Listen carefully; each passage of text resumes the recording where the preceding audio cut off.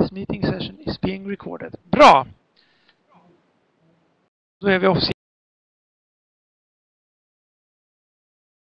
igång. Välkomna till eh, dagens SSMV-webinar, Sociala medier affärsnytta, som vi nu har kört i ett och ett halvt år. Det är, tänka sig, det är ganska bra. Eh, och med ett stigande intresse, vilket också är jätteroligt. Eh, vi har klarat oss igenom den första håsen och har nu ett praktiskt intresse tror jag. Eh, hur man tar sig vidare i den egna verksamheten. Vilket är otroligt roligt. Och vi tänker fortsätta utveckla det här med er hjälp och med era tips om vad vi ska ta upp i fortsättningen. Idag har vi Ulf Seimer från Induo här. Välkommen Ulf! Tack så jättemycket! Kul att vara här. Eh, jag ska alldeles strax lämna över ordet helt och hållet till honom. Ehm, men jag tänkte hålla låda lite först. Eh, vi har ju, vi har ju tidigare berört skolan, offentlig sektor, eh, allmänt om strategier. Men vi har hela tiden haft en önskan med oss från våra deltagare om att plocka upp ämnet business to business. Därför att det här är ja, något man undrar över huruvida det funkar eller inte. Och Ulf är vår första som ska ta upp det ämnet, vilket är jätteroligt. Det har varit efterlängtat. Eh, så att eh, vi ser fram emot att höra vad du säger. Ska, jag ska bara göra en liten, liten ank snabb enkät här. Om ni tittar ovanför våra bilder så finns det en vit snubbe som räcker upp handen där. Då skulle jag vilja be er att ni som aldrig varit med på den här webbinarserien förut eh, klickar där. Då räcker ni upp handen så kan jag räkna hur många som är nya in. Oj. Ja, oj. Det blir bra. 12. Ja, det är, det är lite läckert alltså. Att vi, vi, vi får hela tiden nya personer som hittar in till oss. Det är jättekul. 13. 13 stycken. Jättebra. Bra! Nej, du hittar ingen, Anna hittar ingen gubbe. Eh, rakt precis ovanför... Mig. Ja, precis. Eller mitt emellan oss är det på min dator. Eh, på min dator ja, är det där. Ja, ska vi se. Där. Ja, där. Där. Svårt jag har den där. ja, okej. Okay. Ja, där någonstans. Bredvid alla de andra ikonerna för ljud och, och sådana saker. Nej, det finns ingen där uppe. Mm, vad märkligt. Sitter du på någon speciell typ av... Sitter du på Mac? Nej, det borde synas ändå. Ulf, sitter du på, på PC? Ja, jag sitter ja, på Mac. Mac. Ja, det syns ja. alldeles utmärkt. Ja, ja, okay. uh, eh, har inga ikoner alls. ja, märkligt. Ja, ja, vi får leva med det. Uh, 13 personer räckt upp och Anna dessutom då 14 personer. Nya. Bra. Vi är 13 personer, 30, 31 personer i mötet nu. Och får väl hoppas att det ramlar in lite fler. För vi har plats med upp till 100. Um, bra. Nej men då gör vi så här tror jag att uh, vi sätter igång mötet på allvar och låter Ulf prata. Lite, lite om, om, om hur vi har sagt nu då, att uh, vi gör, eller Ulf gör uh, föredraget i två delar, inte sant Ulf? Precis, så hade jag tänkt. Det blir en break i mitten med möjligheter att ställa lite frågor och sen så kan vi ta ännu fler frågor på slutet beroende på hur mycket tid vi har kvar. Det blir bra. Det var tanken. Precis. Alltså vi ska helt enkelt se till att vi har lite tid över. Som du kan hålla det så att vi åtminstone är färdiga. Vi har kört en del frågor i mitten. Åtminstone 20 över, gärna kvart över. Så... så eh, jag jobbar på det. Så. Ja, bra. Vi, Men, vi får gasa eh, på lite. Inte, ja. Precis. För att inte ta mer tid så går vi över och så ger jag er Ulf Seimer från Induo. Tack så jättemycket. Jag heter Ulf Seimer som Bengt har berättat. Jag jobbar på Induo som Creative Director och eh, jag tänkte prata om sociala medier och bruksvideo. Och eh, jag har byggt upp det så att början, första halvan den handlar om sociala medier, andra halvan om bruksvideo. Däremellan kan vi ställa lite frågor. Det som jag tänkte att vi skulle gå igenom är varför vi jobbar med sociala medier och eh, vilka mål och visioner vi har haft med sociala medier. Och som också som många efterfrågat då, vilka erfarenheter har vi dragit och vilket utfall vi har haft. Och eh, om vi börjar att prata lite kort om Induo då för att ni ska få en en bild av vad vi är för företag så eh, vi är ett företag som grundades 2008 och eh, vi eh, har vårt treårskalas här imorgon tror jag. Eh, vi jobbar med kommunikationslösningar och eh, det kan vara ganska komplexa lösningar. Vi har som till exempel en bild på vulkanerna på Island som ju var förra årets stora nyhet förra, förra året på våren. Där vi ser några kunder som håller på och meckar upp en trådlös länk för att övervaka Islands vulkaner. Och det är typ den här lösningarna vi håller på med. Eh, komplexa kommunikationssystem som eh, ska kunna leverera lite extra. Eh, det kan vara vattenverk, det kan vara bussbolag som vill eh, ha över realtidsinformation från bussar. Så det är business to business helt enkelt. Eh, varför jobbar vi då med sociala medier? Jo, vi hade en tanke att vi ville nå nya användare bortom de användare som vi nådde via våra vanliga kanaler. Sen är det så att vi på Enduo vi jobbar väldigt mycket med att förmedla kunskap. Vi är ett företag som har en stor kunskapsbank internt och vi har jobbat länge med trådlös kommunikation. Och därför så kände vi att sociala medier skulle kunna vara ett tillfälle för oss att dela med oss av kunskap. Och sen är det också så att i och med att vi delar med oss av den här kunskapen så bygger vi faktiskt ett kunskapsbibliotek online som andra kan ta del av. Och förhoppningsvis hitta mera svar på sina frågor men också kunna ställa frågor tillbaka och eh, på så sätt skulle vi kunna skapa en dialog. Sen tycker vi också att en viktig del varför vi tittar på sociala medier det är helt enkelt att rusta våran online-närvaro för framtiden. Fast jag väljer väl kanske att kalla det för nutid för jag tycker ändå att sociala medier är en del av det nutida sättet att kommunicera. Och vi kände att det fanns ingen eh, det, det fanns liksom ingen anledning att vänta utan eh, sociala medier det händer nu. Så att vi, vi började med eh, bloggar för ungefär två och ett halvt år sedan. Som alla undrar lite grann det är vad har vi för mål för sociala medier, vår närvaro på sociala medier. Och eh, jag tycker att det här med mål är inte jätteenkelt just när det kommer till sociala medier. Därför att mål ska, ska vara tidsbestämda och mätbara. Och hur kan vi tidsbestämma och mäta någonting som vi aldrig har testat förut och som egentligen ingen riktigt kan ge några bra svar på. Så istället för att, grotta ner oss i att sätta upp några eh, ordentliga mål så väljer vi att kalla det vision och, och försöker tänka lite friare. Det som var våran vision i alla fall med sociala medier det var att öka kännedomen om vårt varumärke.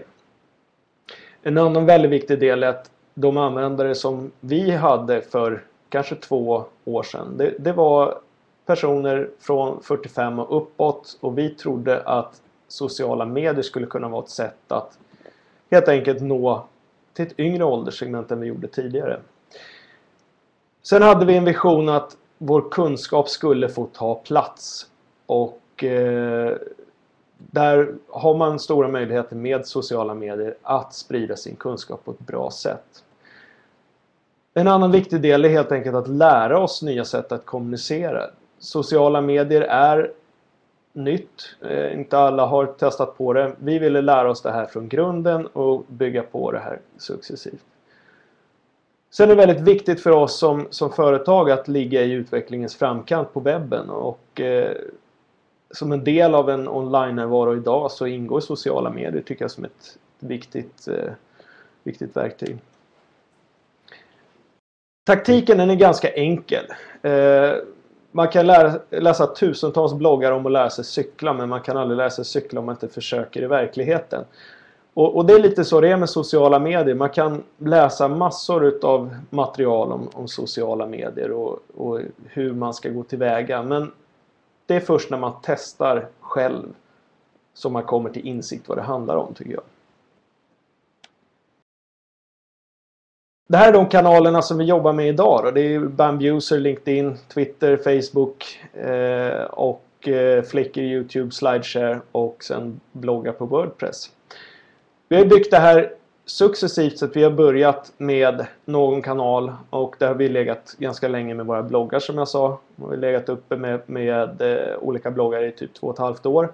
Och eh, under hösten så har vi testat Bambuser, sen har vi kopplat på Facebook och ja, det finns mycket kvar att göra i en del av de här kanalerna. En del kanaler är vi ganska etablerade.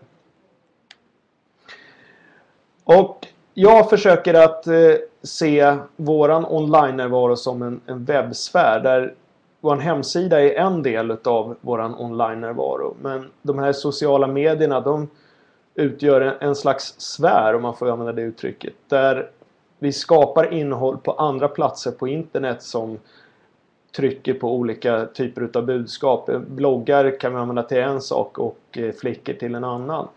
Eh, och eh, i och med att alla de här på ett eller annat sätt går att koppla ihop så kan man då publicera material på en plattform och dra nytta av det på andra ställen. Och, och på så här sättet kan man bygga en, en bra online-närvaro. Och, och, det här var en väldigt viktig sak för oss att, att material skulle gå att dela mellan olika sajter. Nu tänkte prata lite om våra erfarenheter och eh, Twitter är en kanal som vi har jobbat med i ungefär ett och ett halvt år. Eh, I början testade vi lite, vi kan väl säga att för ett år sedan ungefär började vi fundera på vad vi på riktigt skulle använda den här till. Och, eh, vi finns på Twitter och vi försöker att fånga diskussioner om trådlöst. Eh, är det någon som har någon form av fråga som gäller trådlöst, man har dålig täckning eller vad det nu kan vara för någonting, så försöker vi fånga upp den här. Sen behöver inte frågan vara ställd direkt till oss utan vi försöker istället vara någon slags ambassadör för trådlös kommunikation. Där vi kan plocka upp olika diskussioner och hjälpa folk och, och på så sätt få en positiv bild utav trådlöst i allmänhet egentligen. Då. Och eh, många har kommunikationsproblem i sina hemmanätverk. Det tycker jag är ganska vanligt och du brukar kunna hjälpa dem med, med eh, två, tre tweets. Och, och grejen är ju den att då får man en positiv bild av trådlöst. Och det tycker jag är väldigt viktigt. Några som vi når ganska mycket tycker jag via Twitter det är, är press och opinionsbildare. Och eh, det är en bra kanal för oss att finna sig i just för att kunna nå de här personerna. Om man tittar lite grann utanför Sveriges gränser då, så har vi väldigt många av våra leverantörer på Twitter och eh, i den trådlösa branschen så har vi då en egen så kallad hashtag som påminner om Follow Friday fast det är för den trådlösa branschen. Vi kallar det för Wireless Wednesday när vi ger tips om olika människor i den trådlösa industrin att följa. Och det här är eh, ett bra sätt att få kontakt med nya i den trådlösa branschen och, och eh, det är en av nyttorna som vi har haft med, med Twitter. Vad det gäller nuvarande kunder, ja, de finns där. Men eh, i ganska liten utsträckning. Men samtidigt ska jag säga att under det här året så tycker jag att närvaron av våra kunder har ökat och vi har sett att mer diskussioner om våra produkter och lösningar kommer upp på Twitter. Och därför så är det viktigt för oss att finnas där förutom de faktorerna som är listade ovan. Om vi pratar om LinkedIn så tycker jag att LinkedIn det är en väldigt, viktigt, väldigt viktig plattform för oss. För att här hittar vi egentligen kunder, presskontakter och leverantörer. Och eh, den här bilden visade tidigare om att länka ihop olika typer av sociala medier i en webbsfär.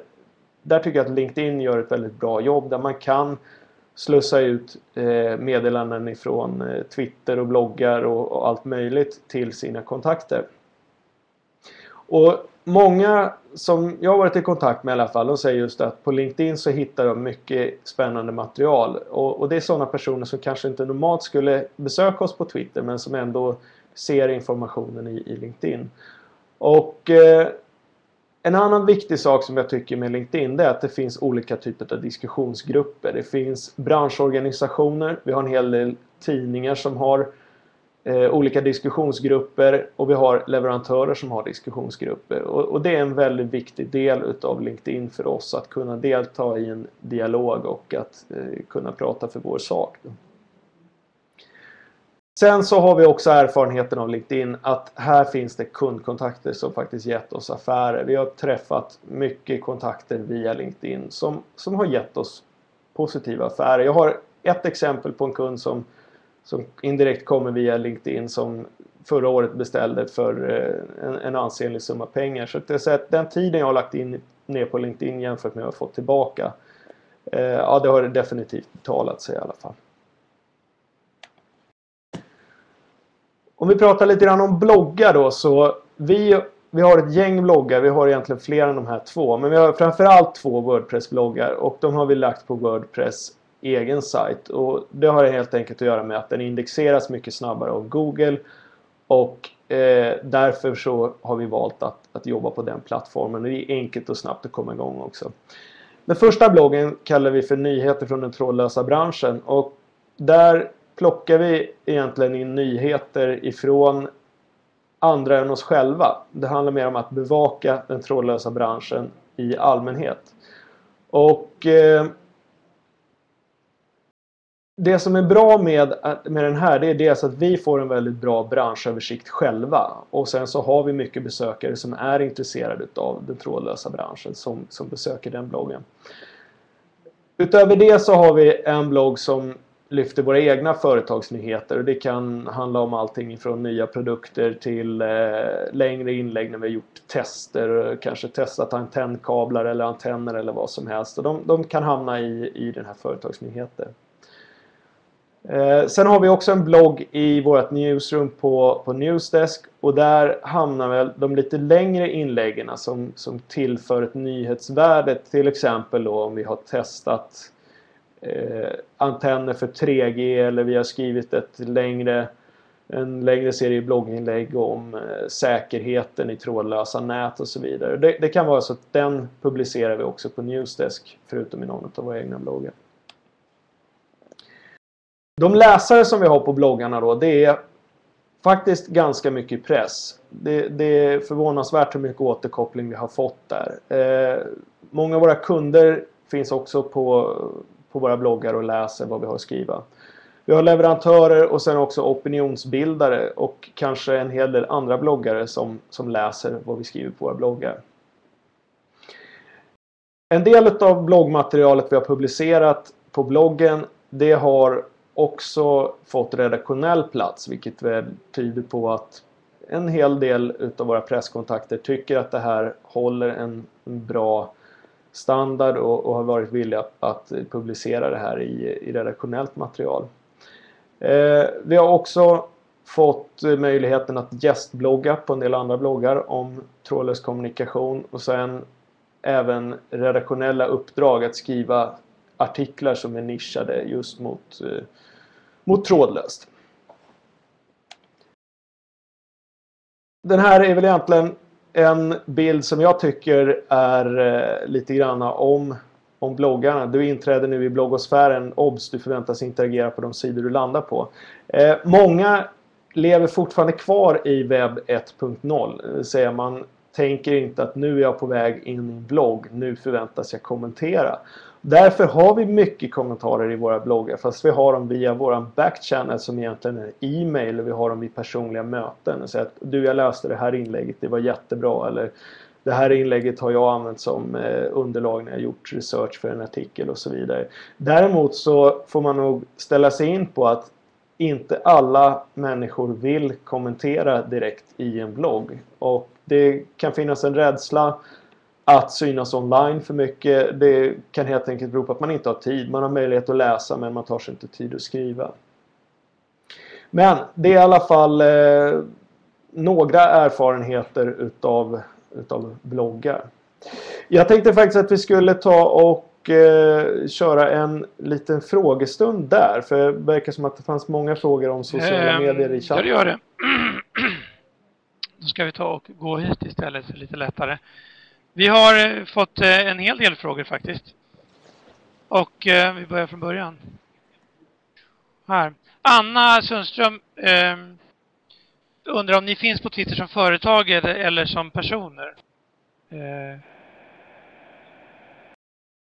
Ja, vi finns, på, vi finns på Twitter som företag under eh, Induvo Wireless, heter vi. Eh, bland annat. Vi har, vi har egentligen tre varumärken som vi jobbar med. Så vi har, men det, det, som vi är mest aktiva med det är Men är det någon skillnad på vem, hur, hur ni interagerar? Alltså, du, du, för du är ju själv ute på Twitter och pratar om de här frågorna. Är det, går du själv in och är representant för ja, Induvo? Ja. Eh, eller svarar ni alltid via er eh, Induvo Wireless eh, nick liksom? Vad det gäller att svara på frågor om trådlöst så kan jag säga som om, om det är frågor som rör, eh, rör oss som företag så försöker jag att, att köra via Induo Wireless. Annars så gör jag det via min privata. Att lösa frågor om, eh, om, om trådlöst som kanske rör någon annans produkt. Det känns som att det gör jag eh, under min egna... Och det är lite, jag är lite nyfiken också. Interagerar ni med företagsrepresentanter eller med alltså, folk som, som twittrar eller interagerar? Om vi, om, vi pratar med, om vi pratar med varumärken eller personerna bakom varumärket. Alltså det, det, det förekommer både och kan jag säga. Eh, jag tycker många av... Alltså i, i, USA så är den trådlösa branschen väldigt stor. Det finns massor av leverantörer och där finns det både varumärken och personer bakom varumärket på Twitter. Och, och det sker egentligen en mix där. Eh, det som jag har valt att... Alltså det vi försöker tänka på när vi, när vi twittrar i varumärkets namn. Det är att om vi twittrar till en privatperson eller en, en person bakom ett varumärke istället för direkt till ett annat varumärke. Att alltid vara tydlig med vem det är som är avsändare. Jag tror också det står på våran Twitter-sida där att det är jag i första hand som svarar på de frågorna för Induo Wireless. Så att det finns också en person bakom varumärket om man nu skulle välja att vilja gå den vägen istället. Eh, Anna frågar, Malmqvist den här gången, frågar hur gör ni för att fånga diskussionerna? Få tag på tweetsen? Eh.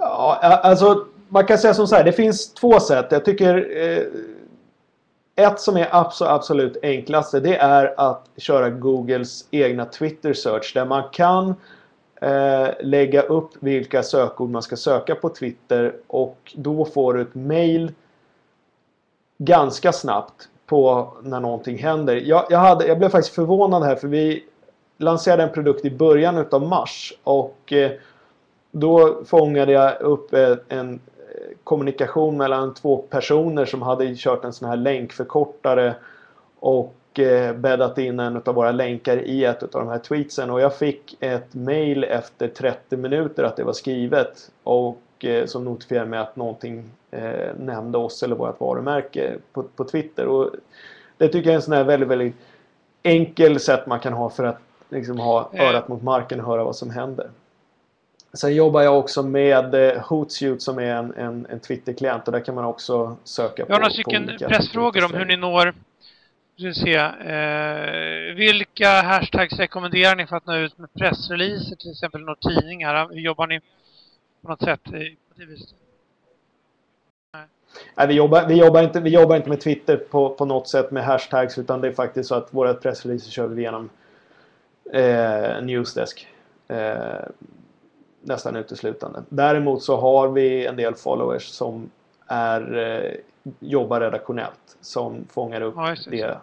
vi så eh, och sen en följdfråga på det här. Hur arbetar ni med att nå och förmedla budskap till opinionsbildare på Twitter? Eh.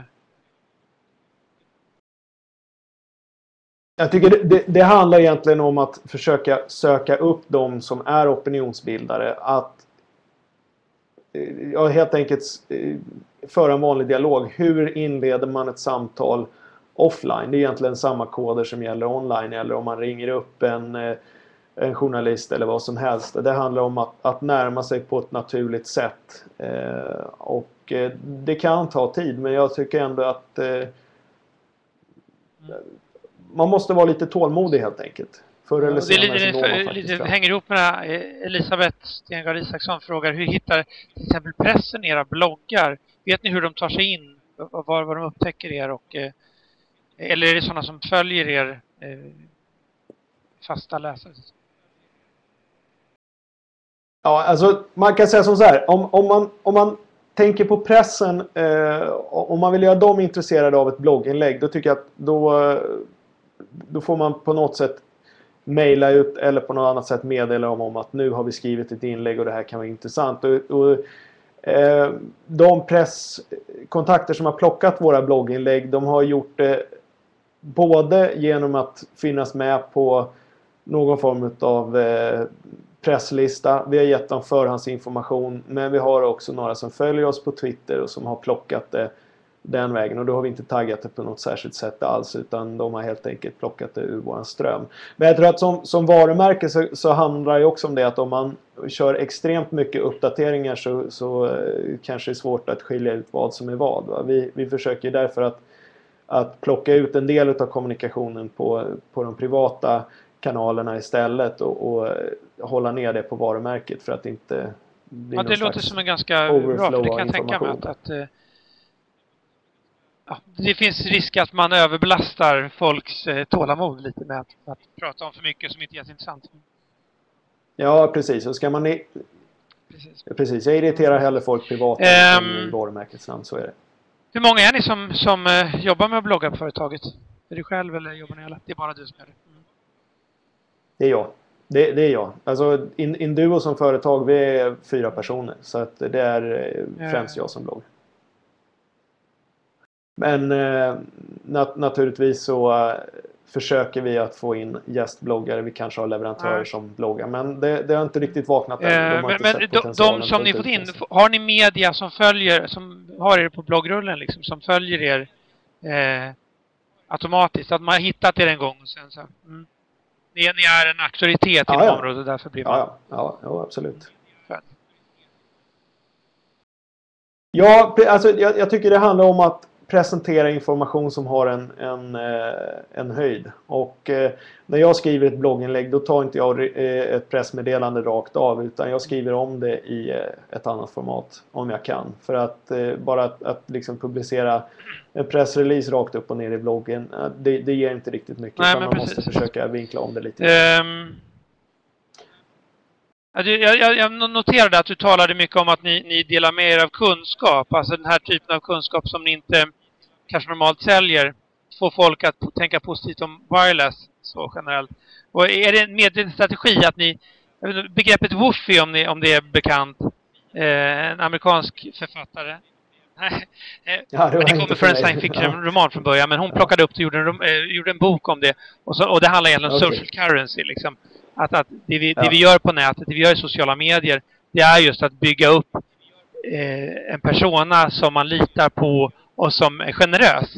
Är det en, en strategi ni har att ni ska vara som mm. företag generösa? Jag, jag, jag tycker jag tycker det plockade exakt det vi försöker att jobba med och eh, anledningen är ju att vi, vi som jobbar här, vi, vi är inte många men vi har en, en ganska stor kunskapsbas av trådlös. Jag har själv jobbat med trådlös sedan 94 och det var innan man ens kunde faxa till mobiltelefoner. Eh, och, och Därför så vill vi gärna dela med oss av kunskaperna till de som är intresserade av trådlöst. Därför att vi tror att man... Eh, vi, vi bygger ett varumärke som handlar om, om pålitliga kommunikationslösningar. Och genom att dela med oss av kunskap så kan våra kunder mer och då kan vi ha eh, mer initierade kunder som, som hör av sig till oss och vi har möjlighet också att bygga det här onlinebiblioteket och hänvisa folk till olika typer av undersökningar. Vi har testat olika antennkablar mot varandra eller olika antenner. Och, och det, det, underlättar också för den som ska köpa upp trådlösa produkter eller tjänster. Sen kanske de inte vänder sig till oss i, i, i slutändan men vi har i alla fall delat med oss. Det stärker varumärket. Alltså det, det, ni finns ändå med i funderingen. Du, ja, precis. Jag tror det ja, absolut. En, en sista fråga här innan vi går vidare. Ja. Eh, Elisabeth frågar, eh, många kanaler, det ska ja, gå snabbt. Ja. Men är det inte ännu viktigare att företagen har en genomtänkt kommunikationsplan? Vem ska man nå, budskap och så vidare? Det strategiska kontra det, det, det vad ska vi säga, att ligga i flödet på något sätt. Och bara reagera på volley.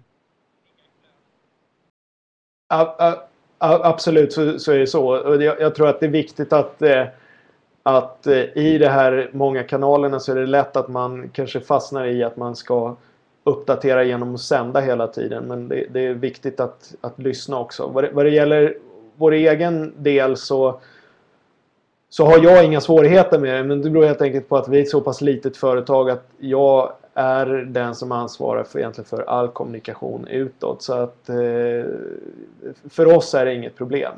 En, eh, det, det, är lite grann så också med, med sociala medier att en, till viss del så måste man testa innan man kan sätta sig ner för mycket och planera. Känner jag. För man eh, kanske inte alla ramar är givna.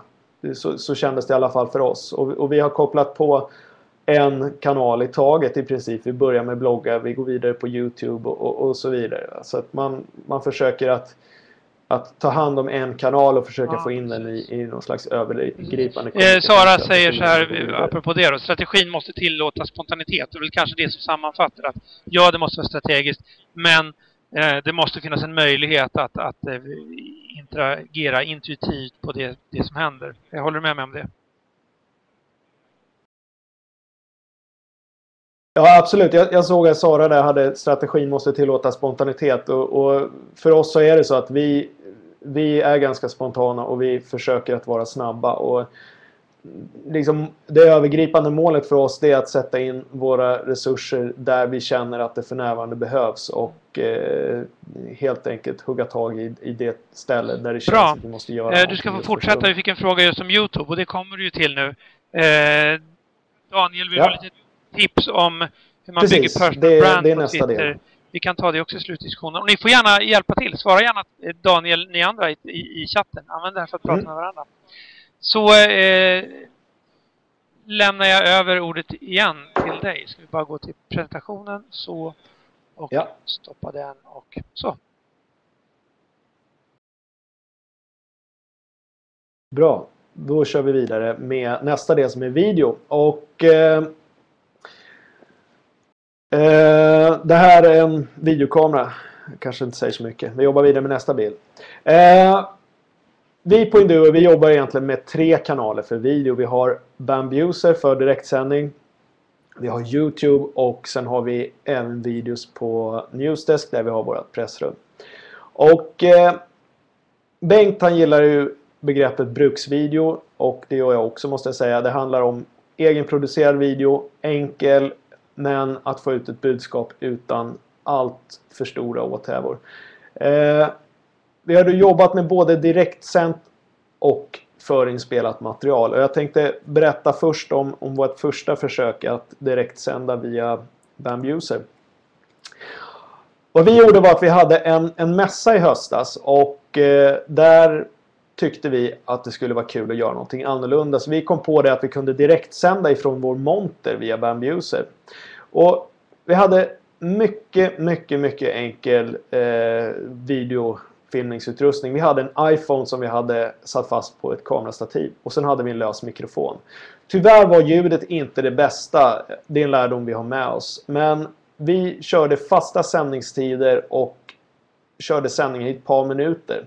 Och då hade vi gjort så att vi publicerade en programtablå egentligen som när man gör tv-program. Och eh, lagt ut då vad vi skulle sända och vid vilka tider.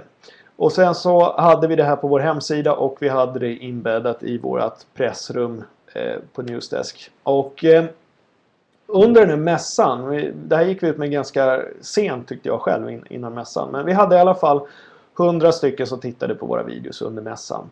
Och eh, jag tycker att det finns också en, en aspekt utav det här att vi säger att vi kanske bara nådde 10 stycken utav våra befintliga kunder men då nådde vi i alla fall 10 stycken som vi kunde prata med. Och eh, de här sändningarna de låg i början och slutet utav mässdagen när vi egentligen inte hade så mycket besökare i montern. Så det störde inte vårt ordinarie mässarbete på något sätt utan det tillförde någonting. Eh, det hade ett bra nyhetsvärde. Många kunder och andra hade uppmärksammat det här och tyckte att det här var en kul grej och var inne och tittade. Och eh, en del leverantörer de tittade särskilt noga när vi presenterade deras produkter. Då. Eh, redaktionell återkoppling hade vi. Vi hade dels under mässan så var det tidningar som skrev reportage från mässan som var inne och tittade på våra sändningar. Och vi har även haft artiklar publicerade efteråt där vi fick faktiskt en hel sida om ett uppslag eh, med Bambuser, att vi hade använt Bambuser på mässan. För oss så, så är det här med Bambuser, det, det, är ganska enkelt, det går snabbt att göra och, och det är kul att testa. Så just nu så har vi kört några fredagar, vi kör Induo live och då summerar vi ihop bara lite nyheter bland våra produkter och där har jag gjort själv en webbkamera, en mikrofon och eh, kort om våra produkter. Det, det, där är någonting som vi mest testar just nu för att se om det är någonting vi skulle kunna använda. Men just den här sändningen från mässan, det var någonting som var, var uppmärksammat och som tyckte gav bra resultat. Och så här ser det ut lite grann då. Eh, till vänster där så har min kollega Björn som eh, pratar om en, eh, no någonting då. Och eh, på högerdelen det är de klipporna som vi har uppe på Webmuser just nu. Om vi tittar på förinspelat material så har vi gjort ungefär 60 videos i egen regi. Och de här publicerar vi på Youtube och vi publicerar dem på Newsdesk. Vi använder en videokamera, en enkel konsumentkamera på ett stativ och sen har vi någon slipsmikrofon. Vi har prövat massor av olika setuper men det behöver inte vara avancerat utan det är enkla saker man klipper ihop och laddar upp på Youtube. Och jag tycker det är lite det som är charmen med Youtube att det behöver inte vara några jätteproduktioner utan budskapet är viktigare. Här där jag sitter alldeles nu och pratar det är någonting som vi kallar för Youtube-studion. Det är egentligen ett rum som, eh, där vi har en vrå där vi spelar in alla våra filmer normalt sett. Och det är egentligen bara en, en backdrop här bakom mig och några lampor. Det, det är inte mer avancerat än så. Eh, här är min kollega Björn som vi videofilmar i samband med att vi gjorde en film om en produkt. Han går egentligen bara igenom steg för steg. Och eh, på Youtube finns vi. Eh, och eh, så här ser det ut. Eh, just det här är en eh, produkt som vi släppte för någon vecka sedan. Och eh, den har haft ungefär 300 visningar på Youtube eller någonting sånt. Mina erfarenheter utav Youtube och Newsdesk det är i alla fall att ska man göra bruksvideo eller vardagsvideo så ska man tänka små steg i taget. Ta, sätt inte för höga mål utan testa, lär dig och gå vidare. Så ha en lagom ambition. Skjut inte över målet. Och det är okej okay på Youtube att materialet inte är helt perfekt. En sak som är viktig tycker jag, det är någonting som jag kallar för storytelling. Det vill säga tänk på att det är en berättelse du ska berätta och försök att bygga upp klippet genom att lägga in små stories istället eh, för en, en jättelång film. För att de är svårare att ta till sig. En del säger att en film på Youtube får vara max två minuter lång. Och det där tycker jag känns som att om man ska ha en, en sån här eh, viral jätteproduktion som ska nå flera miljoner tittare. Ja, då ska man hålla sig till två minuter. Annars så tycker jag att, att titta på video online det börjar bli så pass vanligt så att man kan gott hålla sig över två minuter. Youtube tillåter upp till 20 minuter nästan idag. Att, eh. Däremot ska man då tänka på de första åtta sekunderna. Därför att det är de första åtta sekunderna som man kan fånga tittaren och det kan vara att man berättar om någonting eh, banbrytande som kommer i slutet av, eh, av videon eller eh, man ska ge några tips på slutet. Men att man på något sätt berättar vad man ska prata om och ger en catch att, att hänga med ända till slutet eller i alla fall snabbspola till slutet. En annan sak som vi har jobbat mycket med det är eh, screencast, det vill säga där man spelar in någonting som händer på skärmen. Det är alldeles ypperligt när man ska gå igenom en produkt ska konfigureras eller någonting sånt och varva det med någon som pratar. Sen bäddar vi in en del av de här filmerna på vår egen hemsida. Eh, vi har en del som faktiskt bara handlar om, om, eh, om videos, olika typer utav utbildningsvideos. Och eh, de är ganska långa. De ligger där. Och så ofta vi kan så lägger vi en video ihop med en pressrelease.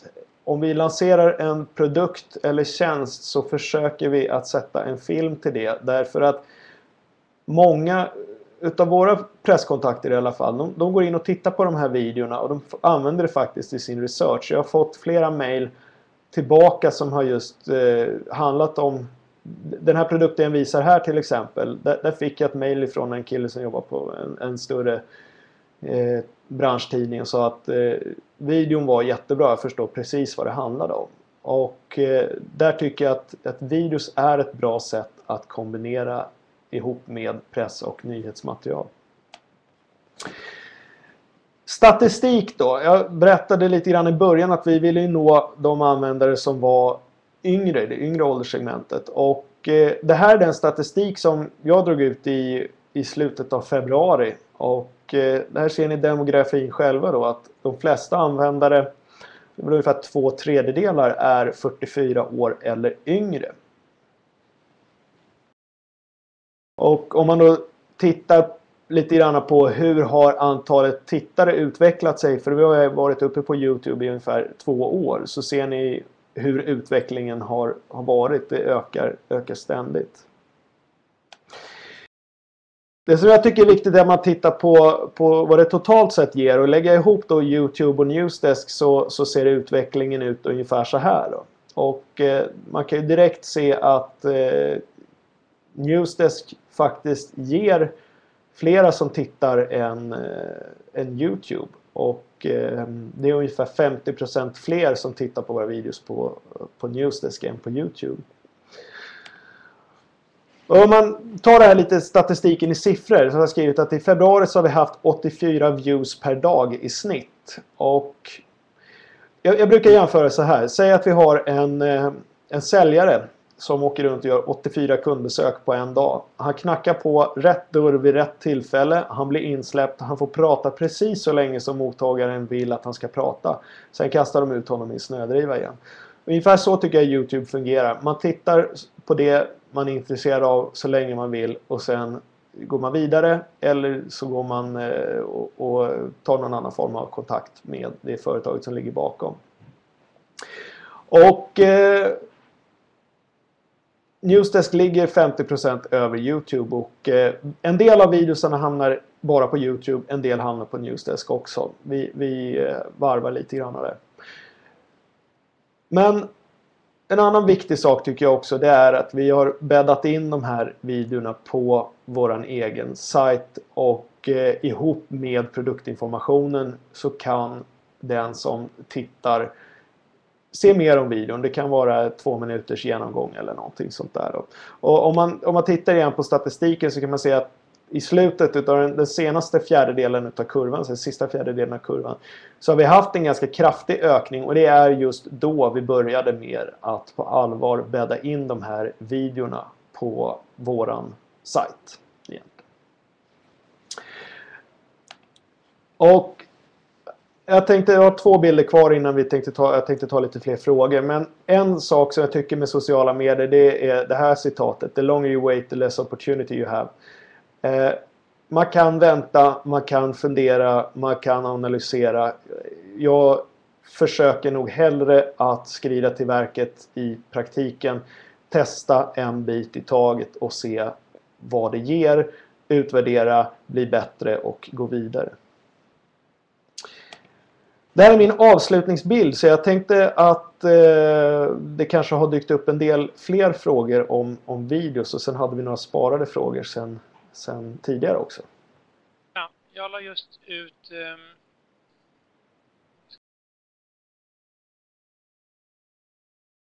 Ja, precis vad jag skulle säga. Du, du la ut min länk där med... Jag kunde inte klicka min, och min, ehm, ja, säga samtidigt. Ja, så. precis. Så, um, jag la ut länken som du hade spara den. Ni kommer också få den på utskicket ni får i efterhand ja. med länken till inspelningen.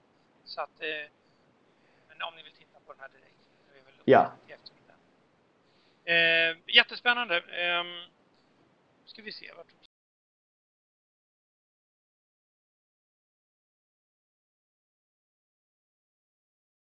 Cecilia frågar, nu, nu, vet jag inte exakt om jag fick, förstod den frågan riktigt. Vad använder ni för verktyg för att visa Visa och prata på skärmen. Det, vi använder en, en webbtjänst som heter, nu ska vi se, jag kan skriva nästan i, eh, i uh, chatten istället. Den heter Screencast Omatic och det är en tjänst som kostar ja, nästan eh, ingenting. Eh, jag tror det, det handlar om eh, 20 dollar eller någonting sånt där.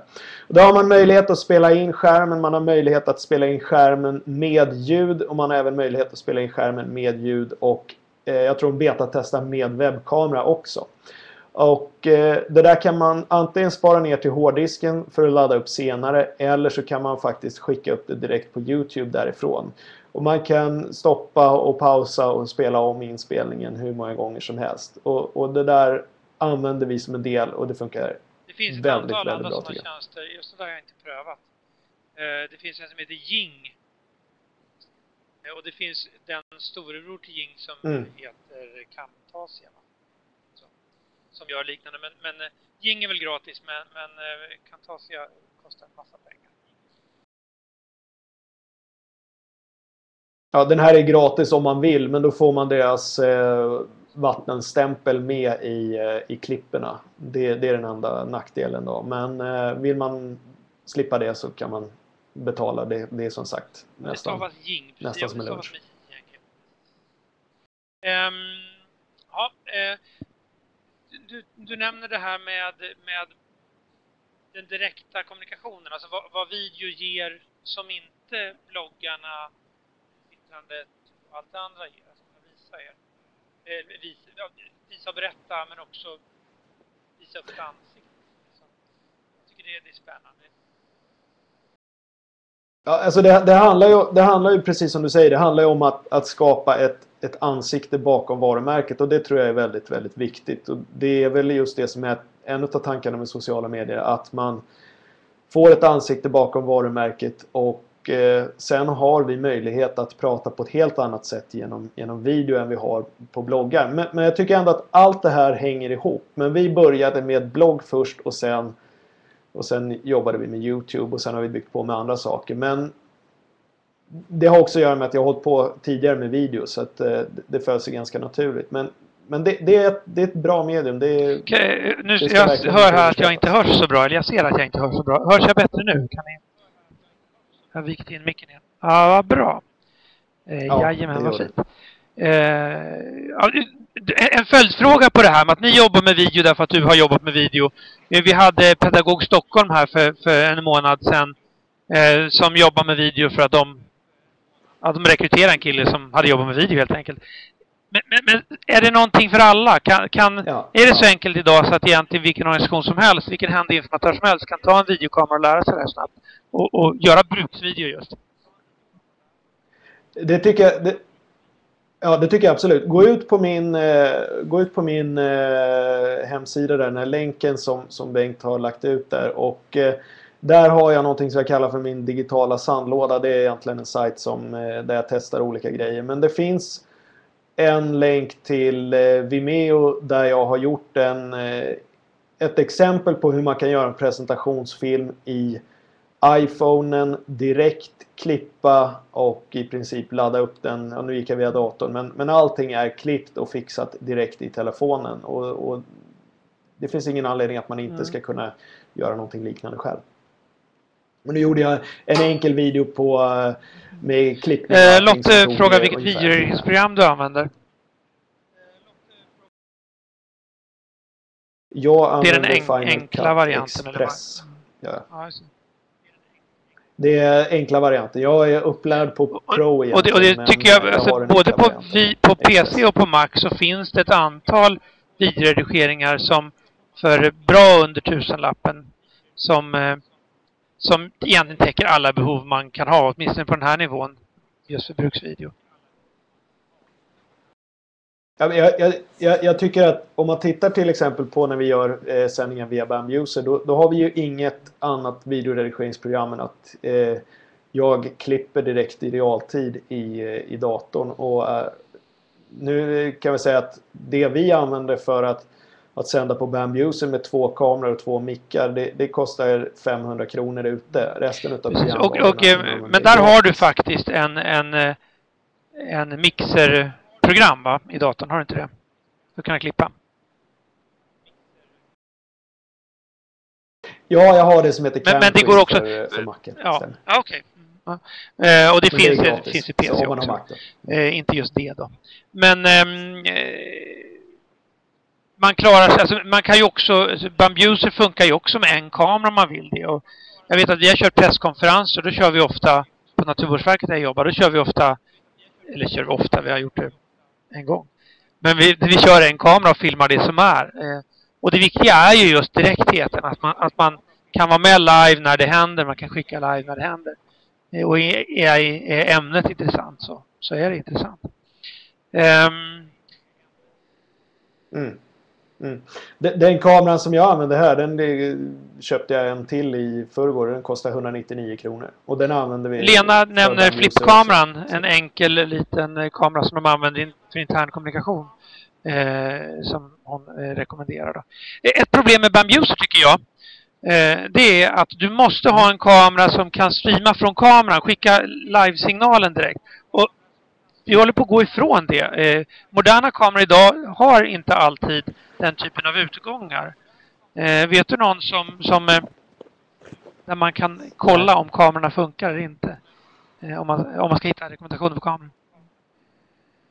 Nej, Nej fa fa faktiskt inte. Det, det, är, eh, det är lite grann en djungel. Jag har en del videokameror som jag har kört direkt eh, till Bambuser. Men jag tycker ändå kvaliteten på Bambuser är eh, så att man egentligen lika gärna kan köra via två stycken webbkameror bara de sitter relativt fast. Och det är det det handlar om, att de inte ska röra sig för mycket. Nej, men det är sant. Alltså man klarar sig, om man tittar på, på eh, eh Björn Falkevik, som är väl, man får kalla honom för Nestor inom streaming, jag vet inte, men, men i alla fall.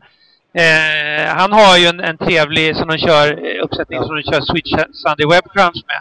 Som är, tror jag, tre eller fyra webbkameror som de sen mixar i, i ett sån här digital så, ja, mjukvarumixer i en dator.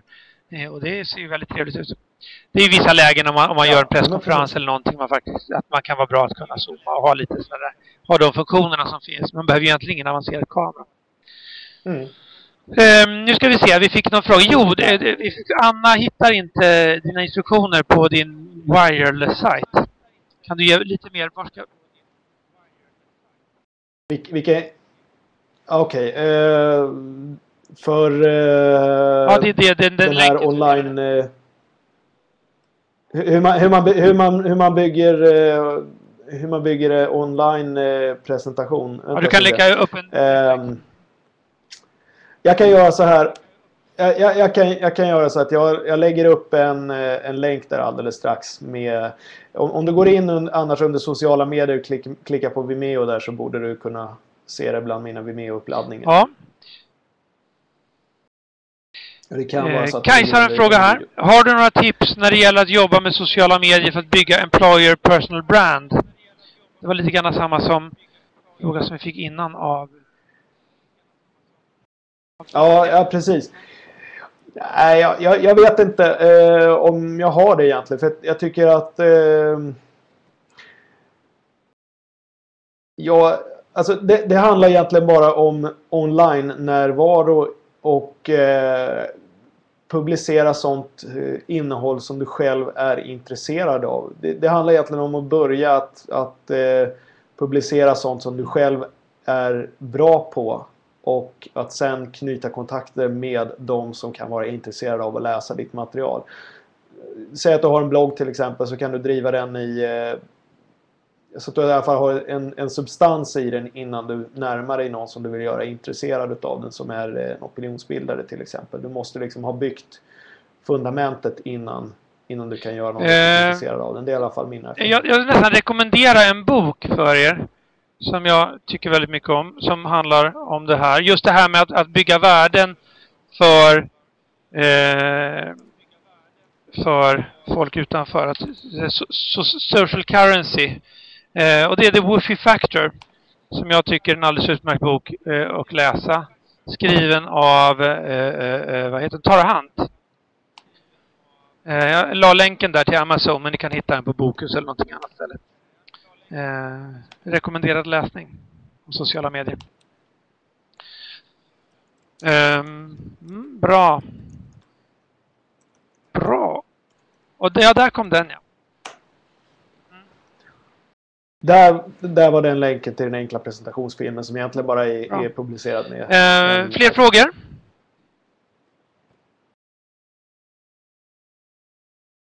Inte så mycket frågor. Vad bra. Um, jag är inte alls speciellt dålig på news, eller så duktig på Newsdesk. Egentligen har jag inte använt överhuvudtaget. Kan du berätta eh, Eh, lite mer hur du, hur du använder det, hur du tänker runt, runt eh, för det, där är, det är journalistkontakter du bygger där, inte sant? Eller? Ja, det är både journalistkontakter, men jag tycker det finns eh, opinionsbildare, bloggare. Det finns även branschorganisationer som är närvarande där. Och eh, nu, nu, jobbar vi både med pressmeddelanden, vi jobbar med bloggar och vi jobbar med nyhetsreleaser. Och, och det där får man väl avväga lite grann av vad man ska jobba med. Men eh, jag tycker att har man en stor nyhet så kan man köra en, en pressrelease. Har man lite mindre kan man köra som en nyhet. Men, men generellt sett så kan man säga att vi når ju långt fler via Newsdesk än vi når via vår vanliga hemsida. Det, det, det är ju absolut så. Och, och, ska jag liksom addera ihop Newsdesk med övriga sociala medier så, så är, har vi ju avsevärt fler besökare via de kanalerna än vi har direkt till vår vanliga sajt. Och, och ihop tycker jag både med social media och Newsdesk så har vi byggt den här sociala eller mm. online-sfären där, ja, där vårt varumärke finns. Så att, så att det, men, men där får du inte direkta kunder utan du får möjligtvis pressbelysning eller? eller?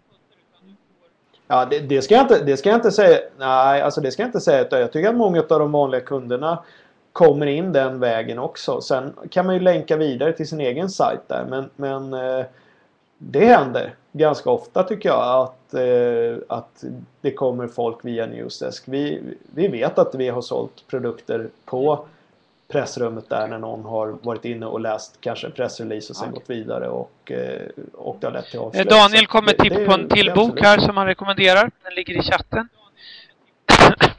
sen, eh, vad heter det, Kajsa eh, förklara lite mer hur hon tänkte, alltså för, hur, hur med företag som arbetsgivare kan förbättra relationen med sina medarbetare i sociala medier. Jag tror egentligen att det är samma sak. Jag tror egentligen att vi alltid kommunicerar med individer.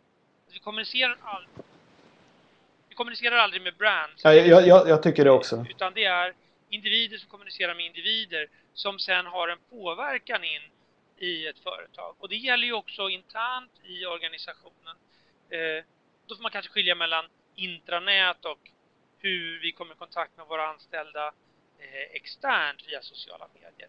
Men på något sätt att skapa värde och där, där tycker jag det, det, det Tara skriver i är eh, tänkvärt. Alltså att vi, vi eh, bygger alltid värden eh, och, och på något sätt delar med oss av överskottsinformation som, som, som ni som då talar om eh, kunskap om, om eh, trådlöst. För det är nyttigt för folk och folk älskar er därför att de, ni löser deras problem. Men ni säljer saker som är relaterade till det. inte Just den kunskapen.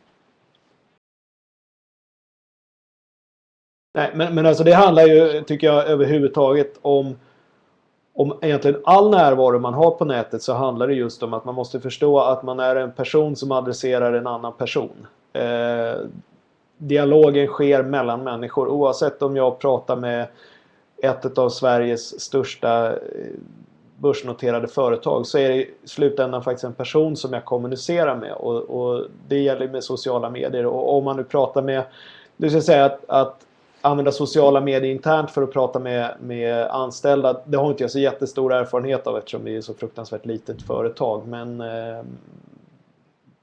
jag, jag, tror att all dialog på nätet är... Eh, nu ska vi se här. Elisabeth säger det krävs transparens i företagen. Speciellt stora för har inte så lätt för det. Och det är väl, det är väl, det är väl sant.